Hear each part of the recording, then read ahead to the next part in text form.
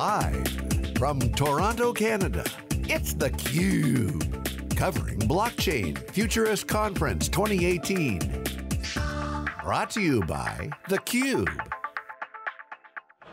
Hello everyone, welcome back. CUBE exclusive coverage here in Toronto for the Untraceable Blockchain Futurist Conference. Two days, two days of wall-to-wall -wall coverage with theCUBE. I'm John Furrier. My co-host Dave Vellante. We're initiating this blockchain coverage, all 2018, CUBE events all around the world. You'll see us more and more, talk to the most important people. Excited to have here in theCUBE Sam Kim, CEO of Lucidity, on the front page of siliconangle.com, our journalism uh, team, with news, also doing a really interesting blockchain advertising, if you could believe what that could be. We know about Brave and the attention tokens, a lot of activity going around on what is the benefit to the user around advertising, certainly having immutability, and data might be interesting. Sam, welcome to theCUBE. Thank you. So first of all, big news today on SiliconANGLE. You guys, we covered you guys. You got a uh, announced um, strategic investor. Yes. What's the hard news? Yeah, well thank you for covering us today. Today we announced our uh, initial funding and our strategic investor is Pythia. Pythia represents the ARChain Foundation um, and so we're really excited by this opportunity because we, we believe chain represents an incredible um, advancement of uh, base protocol layers. And so we're looking, we'll be supporting them as we go forward, as we work closely with Pythia, ARChain, and that community.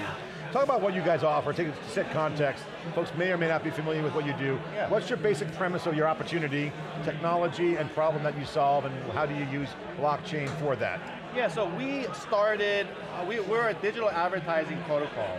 Effectively, we are a shared ledger for the digital advertising ecosystem. Um, and if you know digital advertising, operates at tremendous scale. And so we had to build this layer two technology that sits on top of the, the, the base layer protocols like Ethereum and ARChain in order to address the three challenges. The three challenges, one being scalability, uh, the second is uh, difficulty ensuring privacy, and the third is the high overhead cost of decentralizing a network. And so we built this layer two technology that uses a plasma sidechain, and we use something called a uh, time series database yeah. that solves those three problems. And we're looking to support additional chains in addition to Ethereum. Uh, and yeah. so obviously ARChain is a natural extension for us. Yeah, and you guys obviously get. We, we cover you you guys from a fraud perspective, that's a big problem in advertising. Absolutely. But are you guys, are you guys targeting the user value proposition or the marketer, digital marketer, uh, so, or agency proposition, or both? Yeah, so we're not trying to tokenize digital advertising. Uh, our token is basically used internally for, as a proof of stake token. So the advertiser, we're asking them to pay in fiat, and we convert that into a stable coin. In our current instance, it's the DAI token by MakerDAO. Um, and so what we are trying to solve is the transparency issue that's uh, rampant in the supply chain. So for example, when you run a digital ad today, you use anywhere from seven to 15 vendors.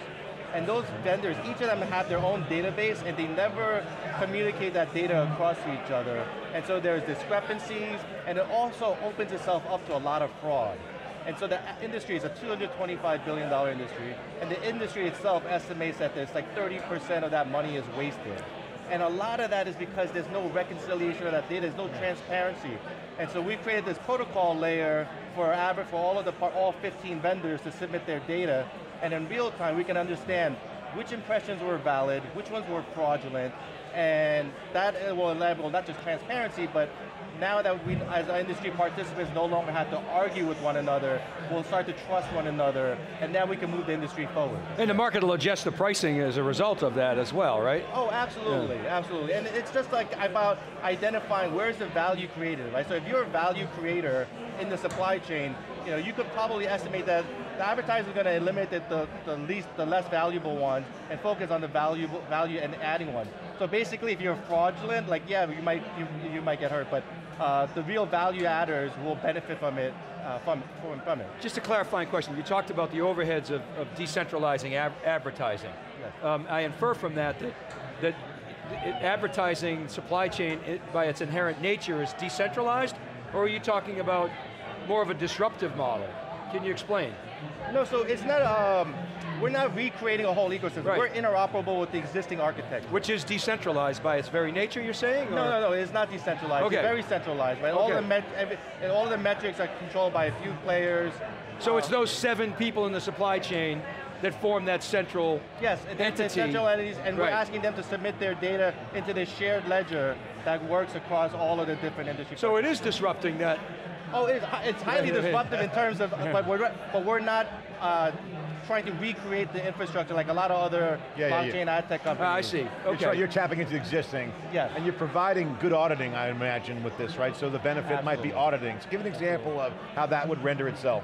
Yeah, so one of the areas that we're focused on today is just looking at va- uh, the impressions in a programmatic ad buy. And so let's say, let's focus on just the, instead of talking about the 15 vendors, let's just talk about the four.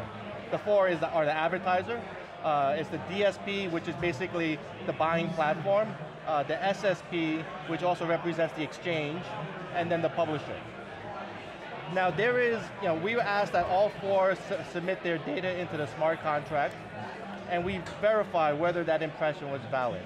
And if you take a fraudulent example, like a bot, they will not be able to mimic uh, the data across the whole supply chain. And so because we're looking at the data holistically, Yeah. rather than just slices of it, Yeah. we can identify those fraudulent uh, behaviors. This is the benefit of horizontally scalable, Absolutely. integrated systems. Yes, Cloud can help you, blockchain helps you. absolutely. How's the uptake been? Give us an update on who's involved, uh, what's been the successes, Yeah. how's the success going? So we've been really excited to work with the IAB, and the IAB stands for the Interactive Advertising Bureau. They're the bodies that set standards in digital advertising. Uh, and we're working very closely with them. We launched our pilot, uh, the first official pilot with the IAB, and we have great advertisers that we're working with us. Yeah. We're working with a lot of the agencies, and we're actually even working closely with the publishers and the ad networks and the exchanges. Uh, Yeah. AppNexus is one of the major partners with us, and the, the reception's been really, really positive because I think everybody wants that transparency. Uh, Well, some of the status quo might not want that transparency. I mean, let's let's face it, right? The fraud is rampant, it really is. $220 billion industry. I bet you there's a lot of people in it that are like, oh boy, here comes I mean- lucidity. I mean, come on, what about that? I'm sure that exists, uh, but we haven't really come across that because the advertiser at the end of the day has become really aware that there is this uh, rampant fraud, there is this waste. And I, I don't want to attribute everything to fraud. I think some of it is just wasted because the, the, the data, the quality of the data. And so the advertisers are demanding, at the end of the day, we're here to serve the advertiser, right? We're here to deliver value to the advertiser. And I think the industry is mature enough now where we recognize that. And so we don't think of transparency as a threat to the business anymore. We think of it as a value enhancement uh, to our customer, the advertiser. the Yeah, and, and I, I would, personally, I would totally agree with that because as I said, the market will correct itself. Yes. Higher quality advertising is going to deliver more revenue ultimately in the long run because there's going to be better outcomes, right? So if you can increase your hit rate, you'd be happy Yeah. to lower the clicks, you know? Is there any benefit for publishers? Yeah, I mean, publishers today have to basically trust what their partners are paying them. There's no way for them to verify and validate it. And so, you know, with our system, we enable publishers to look into um, what we call, it's our, our side chain, right? And so they're look at, able to look at the events, but we obscure the data, uh, we hash the data that's, that, so that we make it anonymous. Uh, but they're, they're able to see like, okay, this, these are the impressions that ran. Um, here are the ones that were val considered valid and verified, and here's what I should get paid. So the publishers now get the transparency uh, which that they lack today. So much of that industry is a black box. You might have a big media buyer who's got voodoo, you know, that sprinkles magic dust, sends you a big bill, and you're like, whoa, you know, Traffic. is this really worth it? Bots, fake traffic. You can automate a lot And of that. And we've been doing this for 20 years. Yeah, at I mean, least. that's it's been the status quo for 20 We need years. to change. So talk about the company, how big, how much funding, did you do an ICO? Is it privately funded? What's the Yeah. uh, funding mechanism? How big Sure. are you guys? What's the story? So today we announced that we raised $5 million. Uh, we did it in traditional means. We did not uh, do an ICO. Venture capital? Uh, it's a mix of venture capital and Strategic. um, obviously Pythia is uh, the fund for ARChain. So, but it was on a, it was an equity deal, um, and that's the route we're going to continue with. You know, we believe we do have an internal token, but we are not looking at doing a public sale. So not a security token, preferred stock, classic, funding, okay, So wait, so you did a security token? No, or no, no. no, We're not no a security security token. Preferred stock. Okay. Classic uh, venture capital. Great, yeah, that's awesome. Congratulations.